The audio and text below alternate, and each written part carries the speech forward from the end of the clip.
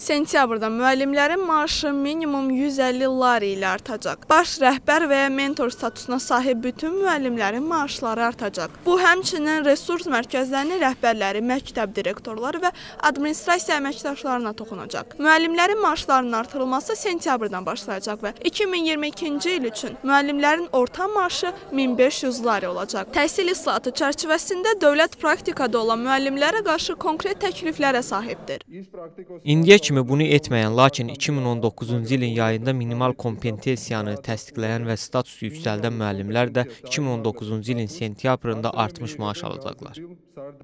Qanunvericilik orqanına 2022-ci il üçün təhsil istiqamətində maliyyələşdirməni nəzərdə tutan hökumət təşəbbüsü daxil oldu. Təşəbbüsə əsasən ümumi daxili məhsulun 6%-i 2022-ci il üçün təhsil maliyyələşdirməsinə ayrılacaq ki, burada da bütün sektorlar nəzərdə tutulur. Pensiya yaşında olan müəllimlər üçün də yenilik var. Əgər onlar minimal kompetensiyanın təsdiq olunması və statusun yüksəldilməsi istəyinə sahib olmasalar, 2019-cu ildə dövlətdən 2 illik maaşı almaq şansına sahib olacaqlar. Lakin bu haqda 2019-cu ilin sonuna kimi bəyan etməlidirlər. Onların sağlamlıq sığorta paketlərinin saxlanılacağı da bir yenilikdir. Bir tərəfdən onlara seçim şansı verilir ki, layiqli pensiya paketindən istifadə etsinlər və 2 illik maaşlarını əvvəlcədən alsınlar və onlar öz istəkləri ilə sistemdə qala bilərlər. Gürcüstan Avropa Keyfiyyəti Təhsil Assosiasiyasının üzvü oldu. Bu gün biz resursların bölünməsi haqqında danışırıq. Bilirsiniz ki, təhsil üçün növbəti illərdə böyük məbləğ ayrılacaq. Bu isə bizə mütləq nəticə verəcək.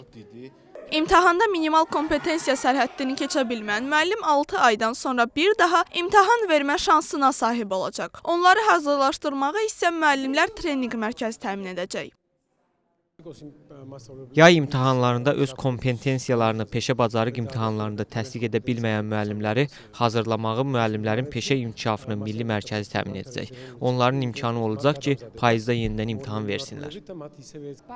Baryer baxımından dəyişikliklər yoxdur. Söhbət minimal kompetensiyadan gedir və müvafiq olaraq müəllimlər bu ildə müəyyən sayda bal toplaya bilərlər. 1 kredit, 4 kredit, 7 kredit keçən il olduğu kimi. Təhsil Nazirinin bəyanatı ilə 2019-cu ilin sonuna kimi heç bir imkan daxilində minimal kompetensiyanı təsdiqləyə bilməyən və statusu yüksəltməyən praktikada olan müəllimlər peşə fəaliyyətinə məktəbin ehtiyacından asılı olaraq müvəqqəti müqavilə əsasında maaşın saxlanması ilə davam edə bilərlər.